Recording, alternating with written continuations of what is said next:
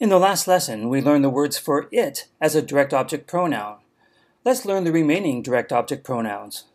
First, let's review subject pronouns. We've learned these before already. The way to say I, you, he, and she, etc. I is ich as a subject of a sentence. You, du, talking to a friend or family member or child perhaps. He, er, she, sie, it, es, although all three, er, sie, and es, can mean it as a subject. We is wir. You, plural, informal, bunch of friends, bunch of family members, etc., is ihr. You, formal, whether singular or plural, is sie, and they is sie as well, but lowercase s. We've learned these before. Now the direct object pronouns. In English, we use them without thinking about it, but you would never accidentally say, he loves I. Of course, it's he loves me. Or you would never say, he loves she, it's obviously he loves her. So we have direct object pronouns in English. They occur, of course, in German as well. Repeat the German word for me, mich. Now, in English, the word you doesn't change as a direct object, but in German it does. At least the word you, talking to one friend, family member, or child, the word du becomes, repeat, dich. Of course, he becomes him, repeat this word, ihn. She becomes her, repeat that word, sie. And it, of course, is es, if it's something neuter. Although, as we've already learned in the last lesson, ihn, sie, and es, all three of these here can mean it, referring to something masculine, ihn, feminine, sie, or es, neuter. Let's continue. The word for us in German, repeat, uns. The word for you, plural, informal. You, my friends, you, my family members. Repeat this word, euch. Now the U formal doesn't change. It's simply repeat sie.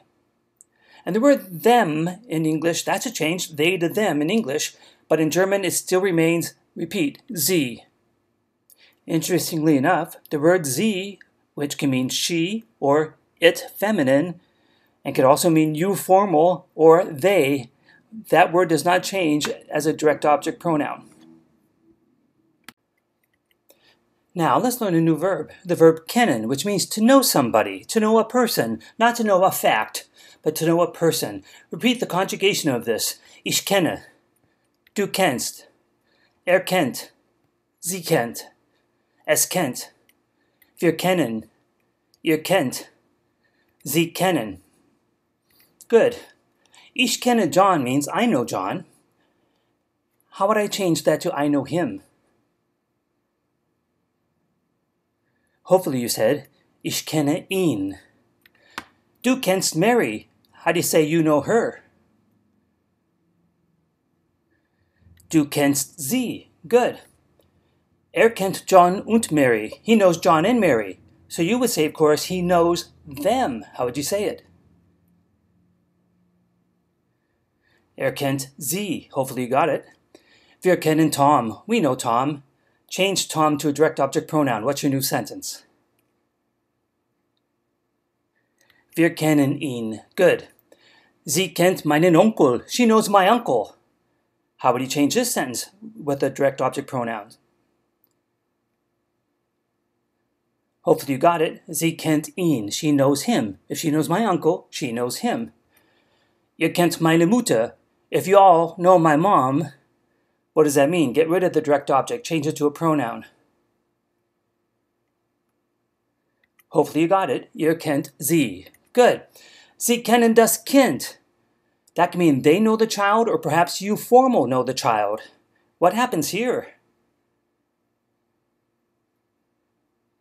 Hopefully you got it. It's Sie kennen es. Now a child is obviously either a boy or a girl, but in the sentence Sie kennen das Kind, well, das Kind is a neuter word. We, we're not specifying whether it's a male or female.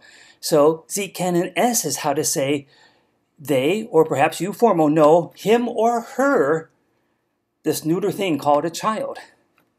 Now, let's look at the verb to love. We came across this once before. Repeat all the forms. Ich liebe. Du liebst. Er liebt. Wir lieben. Ihr liebt. Sie lieben. Good. Repeat how to say I love you. Ich liebe dich. Say I love him. Ich liebe ihn. Say I love her. Ich liebe sie. This last one could also mean, of course, I love them. That's possible, right? Say, I love you, plural. I love you, my children. I love you, my parents. Ich liebe euch. Good. Say, he loves us. Er liebt uns. And now say, he loves me. Er liebt mich. Good job.